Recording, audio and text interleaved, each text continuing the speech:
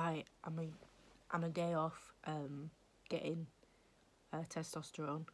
Um, so I wanted to do like a video so people could see like the changes in my voice and how my transition's going. Um, my friend said it were a good idea to do it, but I'm not too sure whether it is or not.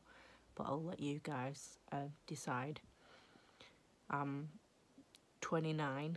Um, and it's only been like the last few years I've started to transition. Um, I've changed my name legally, uh, and I'm waiting for my first uh, gender appointment.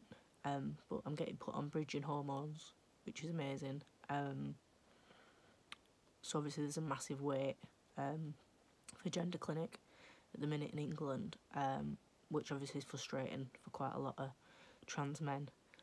I'm going to do these videos and you can see what you think, see whether they're rubbish or see if they're helpful or not. Um, when, once I've got my appointment through uh, for the gender clinic, um, I'll be looking at getting an assessment uh, to make sure that I'm sure about transitioning, which I am. Um, so I want top surgery and bottom surgery, um, but obviously that's going to be years in the making. Um, so between now and then, obviously I'll start bridging hormones and uh, checking my levels and things like that. So tomorrow I'll get my bloods taken, um, I'll get weighed, and then they'll start me on testosterone um, through endocrinology uh, in Bradford. So I'll let you guys see what you think and see whether this video is helpful or not.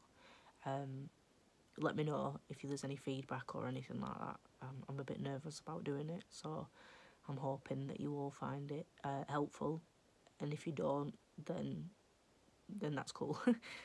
um, but yeah, I'll hopefully do more of these videos, um, and just let me know on your thoughts and feelings, and if there's any ways that I can help to support you, or if you feel like you're on your own, you're not.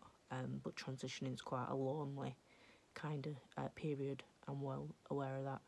So I'll see you guys soon. Um, and I hope you get something from these videos. Bye.